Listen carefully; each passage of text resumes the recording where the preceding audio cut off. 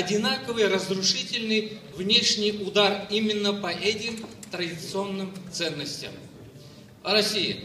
Так получилось, что 19 августа 1991 года я по случайному совпадению, а 4 октября 1993 года осознанно оказался в Москве, у Белого дома и Останкинской телебашни. Это все помнят, что там происходило у нас здесь. Прекрасно помню, какой была Москва, какими были другие города, какими были люди. Помню, что стало с державой СССР, затем Россией после этих событий. Помню, как по открытому э, шлюзу хлынул к нам Запад во всех проявлениях, как мы на всех уровнях ползали перед ним на коленях за дешевые подачки, угробили всю свою экономику и культуру, забыли о национальной гордости. Помню прямую трансляцию штурма Белого дома в Москве телекомпании CNN, которая купила эксклюзивные права на это – там погибли сотни людей. Столица великой державы сжалась в комок страха. Из нашего горя сделали шоу на весь мир. И я подумал, что если бы в семнадцатом году тоже было телевидение, какая-нибудь CNN тоже нашла бы у кого купить эксклюзивные права на шоу, право на поток, на поток долларов на крови свой карман. Великая Октябрьская революция – это не продукт кучки авантюристов, это продукт системы, который сам стал системой. Когда ты живой человек, а не ее безвольный винтик, она, система, пройдет по тебе многотонным катком. Либо сравняется всеми, либо раздавит. Как по мне, по моим близким прошелся этот каток, я почувствовал глубже и понял только тогда, когда бороду покинул последний черный волосок. Она, Великая Октябрьская, все еще не отпустила меня, не отпустила миллионы моих соотечественников, Россию. Да, она строптиво вбирается из ее пут, но системе это не по нраву. Да, мы, как некоторые, не шьем трусы рисунка государственного флага с государственной символикой на точке патриотизма. Но мы стали уважать себя, свою страну. Может, до трусов э, из Госплага дело не дойдет, но мы, надеюсь, снова начнем писать слова «Отечество» и «Родина» с большой буквы. Иран э, представление европейцев пугающе закрытая страна исламского фундаментализма. Я коренной самаркандец, Узбекистан, большую часть жизни проживший в России, был удивлен и счастлив увидеть и почувствовать обратное. Короткие юбки и голые плечи не признак открытости. Попробуйте в любой стране Европы, тем более в США, подойти к незнакомой женщине и спросить что-то, не дай Бог улыбнуться ей. Там каждый человек внутри собственного кокона, который прочнее и темнее хиджаба из самой плотной ткани. Свобода заключенная в железобетонный панцирь самоидентичности. В Иране за недемократичными хиджабами не показная, а настоящая свобода. Здесь живые и искренние, гостеприимные люди, которые, не задумываясь о том, демократично ли это, вам улыбнутся открыто. В их интонациях вы услышите не холодную враждебность чужого мира, а тепло давно забытого родного очага. В каждом доме я встретил почтение к старшим, нигде не видел, чтобы юное поколение зависало над гаджетами, было их рабом. То есть и в этом они более свободны, чем мы. Книга здесь все еще в великом почете. Все еще, как в моем детстве, семьи ходят друг к другу в гости, ведут неторопливые беседы, поют национальные песни, танцуют, Пришлось и мне тряхнуть стариной.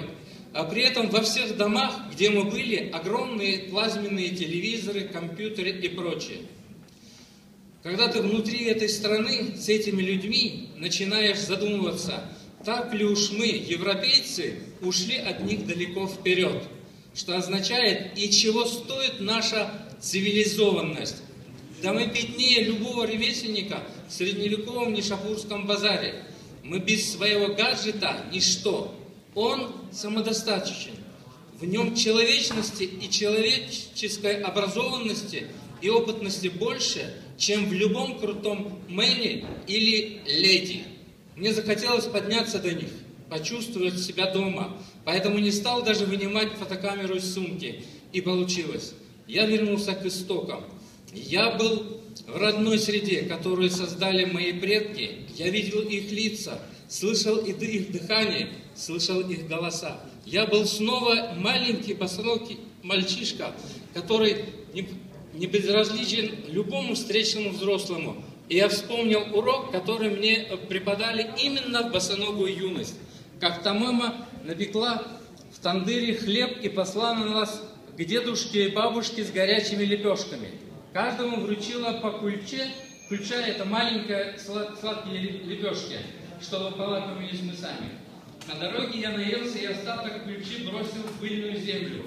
У калитки стоял какой-то дед, которого я не знал. Он схватил меня за ухо и заставил поднять с земли этот кусок хлеба. Какие при этом слова он говорил, забылось. Прошло, прошло более 50 лет.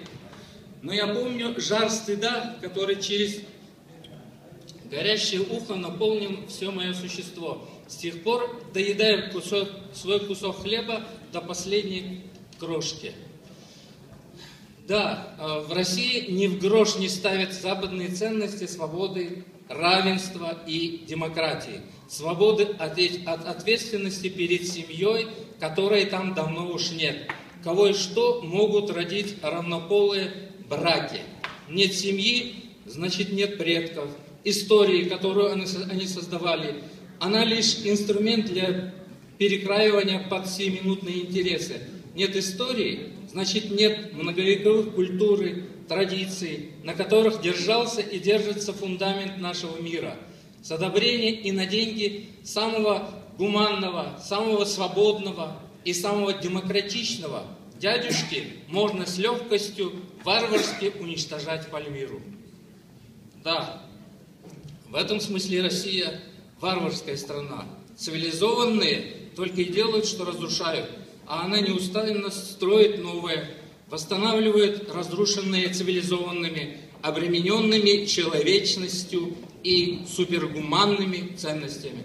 Да, Россия не может, как заокеанский гегемон, похвастать тем, что стерты грани между нациями и национальными меньшинствами, тем, что есть единая нация – и не может хвастать тем, что в ней процветает национал-шовинизм и расовая дискриминация.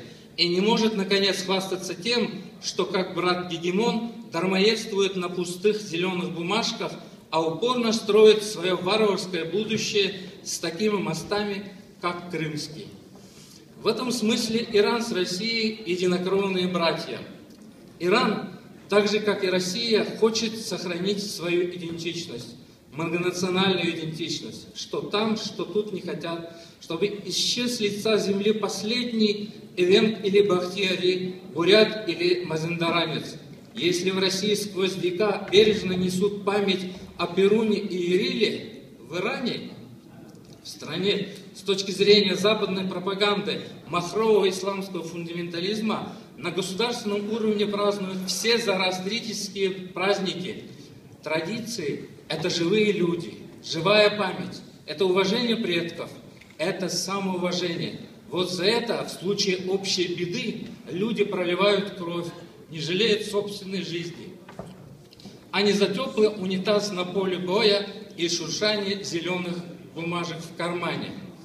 Во всех войнах и военных конфликтах сухим из воды и с полными карманами выходит одна страна – США. Страна, которая выиграла только две войны из 55 при всей своей военной мощи. Вспомним вторжение на Гренаду в 83 году. Операция называлась «Вспышка ярости». И 89 год вспомним, когда Америка вторгалась э, в Панаму. Операция называлась «Правое дело».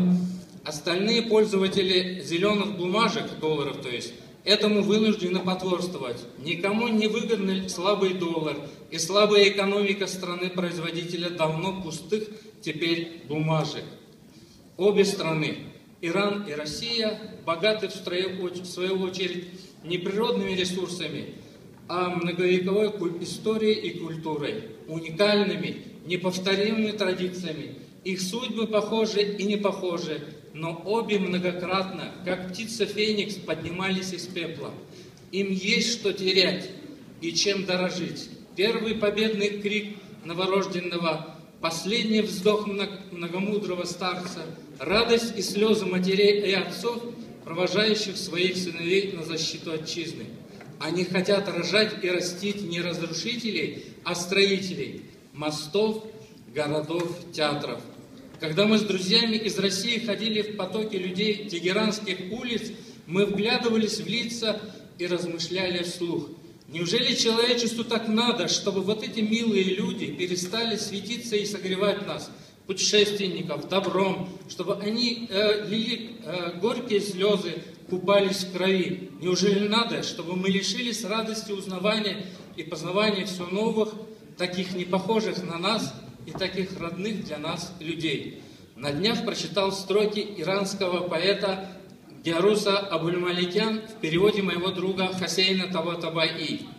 Мы молились, подняв глаз лица к небу, а с неба упала бомба. Так называемая западная цивилизация огнем и мечом прокладывает себе путь, завоевывает пространство во все времена. При этом не спрашивая ни у кого, нужна ли им эта цивилизация, кому же не западных народов, народности, племен и так далее, одним словом варваров принесла блага, благо западная цивилизация индейцам, африканцам, азиатам, может лучше стало жить иракцам, ливийцам, сирийцам, станет лучше иранцам, наконец россиянам, если падут ниц от санкционного давления и широко распахнут ворота ценностям. К сожалению, жизнь показывает, что традиционные ценности Запада и Востока полярно несовместимы. Ладно бы в умах, от этой несовместимости с неба падают бомбы. Спасибо.